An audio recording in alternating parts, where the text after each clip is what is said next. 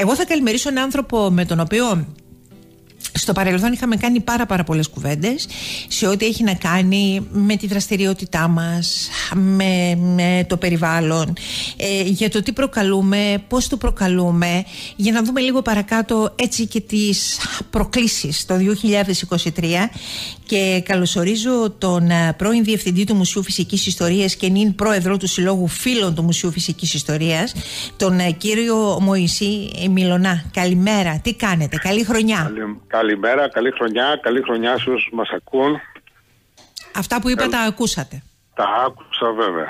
Πάτε από εκεί σε ένα πρώτο σχόλιο και πάμε παρακάτω για να συνεχίσουμε αυτή την κουβέντα μέσα σε αυτές τις προκλήσεις και τις αναζητήσεις που θα πρέπει να μας φέρει πια όμως ε, ε, κύριε Μιλωνά με πολύ μεγάλη ταχύτητα το 2023 γιατί αυτό το οποίο ενδεχόμενα έχει κάνει ο καθένας από εμάς έχει επιτρέψει ο καθένας από εμάς δεν είναι κανένας άμυρος των ευθυνών του όσο και αν θέλουμε να φωτογραφίζουμε πάντα α, τους άλλους βλέπουμε που μας έχει οδηγήσει χειμώνας με άνοιξη. Ναι, ακριβώς. Ε, κοιτάξτε, είναι αρχές του χρόνου, όλοι θέλουμε να είμαστε αισιόδοξοι, όλοι θέλουμε να έχουμε μπροστά μας κάτι το καινούριο, αλλά δυστυχώς τα προβλήματα του χτες μας ακολουθούν. Για περισκεψίες του χτες, αυτό που λέτε το, το εγώ, ένα υπέρμετρο εγώ που προσπαθεί συνέχεια να να έρθει στην επιφάνεια, μας, μας ακολουθεί και τα προβλήματα σιγά σιγά τα βρίσκουμε, τα βρίσκουμε βουνό μπροστά μας και πραγματικά δεν ξέρω πια αν έχουμε το χρόνο να τα αντιμετωπίσουμε.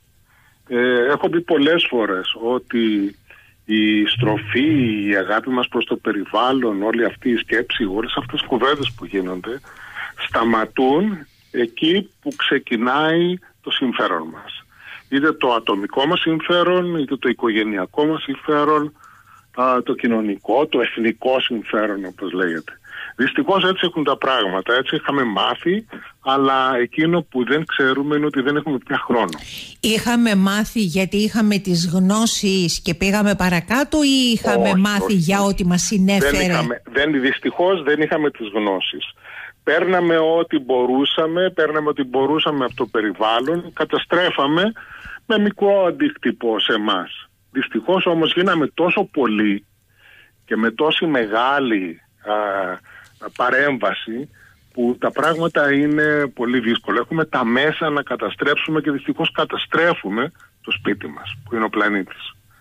Ε, δεν, θέλω να είναι τόσο μα, μαύρα. Μα, μα, με συγχωρείτε, αυτό το οποίο είπατε... Το θέμα είναι ότι γνωρίζουμε. Γνωρίζουμε τι πρέπει να κάνουμε. Αλλά υπάρχει αυτή η ατολμία από τη μια. Τα κράτη φοβούνται το, τον αντίκτυπο. Το, βλέπετε μεγάλες δυνάμεις, μεγάλες οικονομικές δυνάμεις που λένε ότι εγώ δεν θέλω να χάσω από αυτό που λέγεται επίπεδο ζωής των πολιτών μου γιατί θα το πληρώσω ως για, ποιο επίπεδο, για ποιο επίπεδο ζωής μιλάμε; Ακριβώς. Ε, συγγνώμη. Για ποιο επίπεδο ζωής μιλάμε; Το επίπεδο ζωής, το να έχω μια οικογένεια να έχει τρία αυτοκίνητα, το να μπορώ να καταναλώνω όλο το, όσο το δυνατόν περισσότερο, ε, το να υπάρχει μια ψευδέστηση ευμάρειας. Ε, αυτό είναι που δυστυχώς μας, ε, μας κρατάει αυτός ο καταναλωτισμός που είμαστε σε μια σχιζοφρενική κατάσταση. Συνεχώς μιλούμε εμείς για το περιβάλλον, αλλά απ' την άλλη όλα γύρω μας είναι αυτά που λένε κατανάλωση. Ναι, αλλά ξέρετε τώρα, εμένα μου βάζετε πολλά θέματα πάνω στο τραπέζι και στο κεφάλαιο αυτό των προκλήσεων. Θα μου πείτε, Μάση, το ξεκίνησες, κυρία μου, πρώτη, το κομμάτι με τις προκλήσεις. Αλλά όταν μου λέτε ότι ξέρετε, δεν ξέρω να ξεκινήσω πρώτα από εκεί, αν έχουμε το χρόνο να διορθώσουμε ό,τι προκαλέσαμε. Και μετά πάμε στο εγώ μας και λέμε για τις αποφάσεις των κυβερνήσεων, οι οποίοι δεν θέλουν εμείς οι υπόλοιποι για ψηφοθυρικούς λόγους να χάσουμε αυτά τα οποία έχουμε, εγώ διερωτώ με ξανά και λέω να χάσουμε τι, αυτά τα οποία έχουμε χάσει και εν πάση περιπτώσει Άλλα προεκλογικά λένε, άλλα μετακλογικά κάνουν. Παγκόσμια είναι αυτό το θέμα. Περιβάλλον είναι αυτό το οποίο καταστρέφουμε και είμαστε εμείς οι οποίοι συνεχίζουμε να τους δίνουμε με την ανοχή μας την ψήφο μας έτσι ώστε να κάνουν κατά το δοκούν αυτά τα οποία βιώνουμε εμείς σήμερα. Ναι, ε, σαφέστατα έτσι είναι, έτσι είναι. Εμείς λοιπόν είναι που, που θα μπορούσαμε να σταματήσουμε αυτό το φαύλο κύκλο. Αλλά αυτό το εμείς θα πρέπει σιγά σιγά να γιγαντώσει, να ξεπεράσει τις, ε, τα κοινωνικά όρια, τα εθνικά όρια και να πάει σε ένα ευρύτερο πλαίσιο. Δεν μπορεί να μιλάει κάποιος ο οποίος προκαλεί πόλεμο για το περιβάλλον, πόλεμο. Μιλώ για το θέμα της Ουκρανίας με τη Ρωσία. Ε, έχω μια δύναμη, υπερδύναμη, η οποία επανειλημμένως κόπτεται για, την, για το περιβάλλον. Και όμως αυτή η δύναμη έχει μπει σε ένα αγώνα αυτή τη στιγμή που καταστρέφει ό,τι θα μπορούσαμε να κάνουμε. Βλέπετε πως έχει στραφεί αυτή τη στιγμή ο κόσμος υπέρ της πυρηνικής ενέργειας σε διάφορες χώρες. Ε, διάβαζα τελευταία τι γίνεται στη Φιλανδία η οποία από εναντίον της πυρηνικής ενέργειας πήγε υπέρ της πυρηνικής ενέργειας.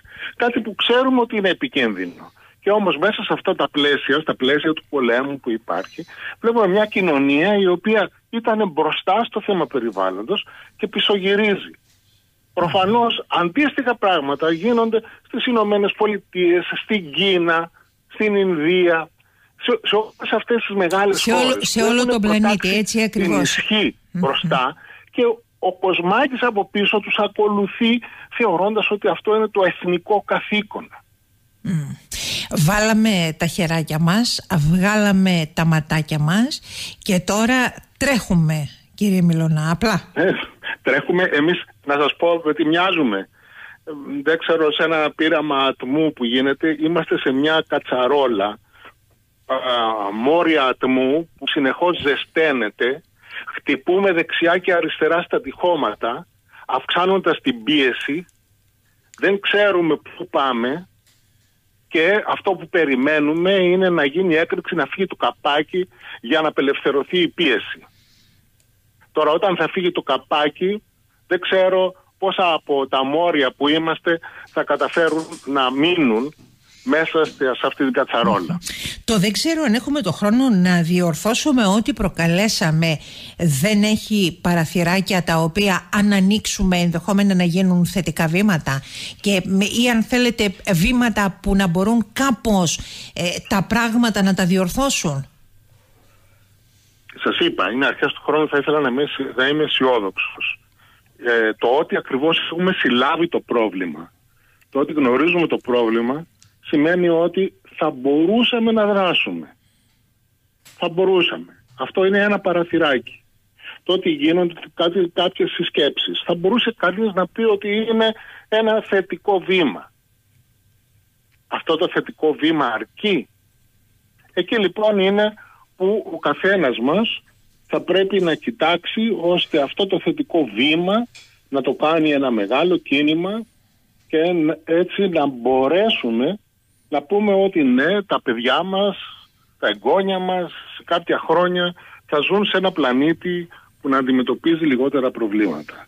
Βλέποντας την Φοβούμε ότι τα προβλήματα όμως είναι εδώ μπροστά μας. Το βλέπουμε αυτό το παρατεταμένο, αυτή την παραπετεταμένη άνοιξη, το ότι δεν έχουμε χιόνια στα βουνά μας. Ε, όλο αυτό, το, τον πάγο που είχαν στις Ηνωμένες Πολιτείες, όλες αυτές τις ανομαλίες. Ε, θα μπορούσε κανείς να πει ότι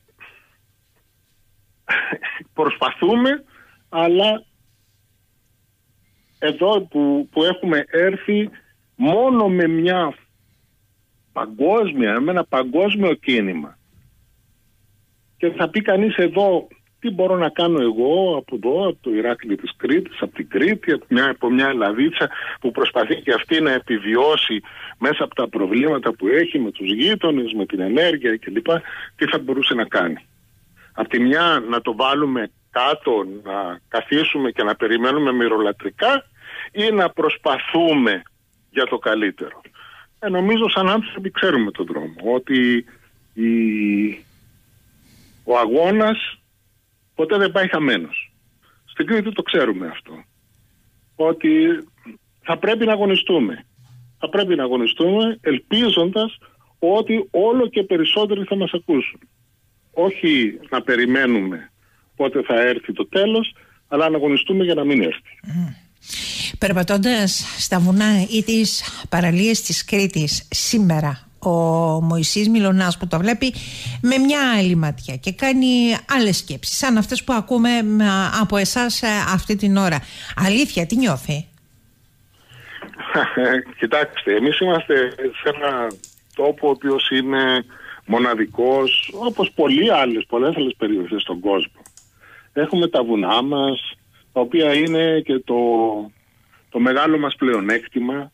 Έχουμε τη θάλασσα, μια θάλασσα που δεν είναι κλειστή, είναι ανοιχτή. Μπορεί να είναι σε μια κλειστή μεγαλύτερη θάλασσα που είναι Μεσόγειος, αλλά δεν έχουμε τους κλειστούς κόλπους που να μαζεύουν βρωμιά. Οι θάλασσες μας είναι ανοιχτές. Το ίδιο και τα βουνά μας είναι ψηλά. Η βρωμιά δεν την κρατούν. Την πετούν. Οπότε για μας όσο και να προσπαθούμε να τραυματίσουμε αυτό το νησί, το νησί μας αντέχει. Η ομορφιά εξακολουθεί να υπάρχει. Αλλά ο καθένας από εμά πρέπει να κάνει το καλύτερο. Αυτό είναι νομίζω το μήνυμα, έτσι. Ακριβώς πρέπει να κάνει το καλύτερο. Θα πρέπει να σκεφτόμαστε, θα πρέπει να σκεφτόμαστε όχι μόνο τοπικά, όχι μόνο για εμάς. Πρέπει να σκεφτόμαστε πια παγκόσμια για να έχουμε ένα αύριο. Έχουμε, έχει περάσει ο καιρός που το ενδιαφέρον μας για το τοπικό περιβάλλον ήταν, ήταν αρκετό. Τώρα πρέπει να σκεφτόμαστε παγκόσμια. Δυστυχώς και το να σκεφτούμε ε, παγκόσμια πρέπει να κάνουμε υπερβάσεις. Πάνω από το τοπικό, πάνω από το εθνικό κυρίως. Και δεν είμαστε έτοιμοι. Μάλιστα. Αυτό, αυτό είναι το πλέον απεσιόδοξο. Ε, φαντάζομαι ότι υπάρχει ένα ίχνος αισιοδοξίας και το ίχνος αισιοδοξίας είναι ότι στο ότι γνωρίζουμε ε, γνωρίζουμε και παίρνω αφορμή με αυτό που λέγατε πριν βγούμε στον αέρα ε, ότι για τις προσπάθειες που κάνει ο άνθρωπος να ζήσει περισσότερα χρόνια. Να ζήσει περισσότερα χρόνια πού σε ένα κουτί αποστηρωμένο αν θα μπορούσε να ζήσει σε ένα οξυγόνο που θα παράγεται από μηχανήματα σε μια εικονική πραγματικότητα mm. ας το σκεφτούμε και αυτό Φαντάζουν πραγματικά οι ανακαλύψεις να μην έχουν ουσία όταν βάλουμε μπροστά όλα τα υπόλοιπα δεδομένα, γιατί σαφέστατα είναι πολύ σημαντικές, αλλά όταν βάλουμε μπροστά όλα τα υπόλοιπα τα δεδομένα και όλα αυτά τα οποία προκαλεί ο καθένας από εμάς. Κύριε Μιλονά, καλή χρονιά σας εύχομαι. Σας ευχαριστώ πολύ για την κουβέντα. Πούμε, εάν... Μακάρι να, ε, να προβληματιστούμε, την αλήθεια λέτε. Ο προβληματισμός χρειάζεται, αλλά την άλλη χρειάζεται και ο αγώνας. Να μην το βάζουμε κάτω. Καλά να είστε. Καλημέρα. Καλημέρα σας.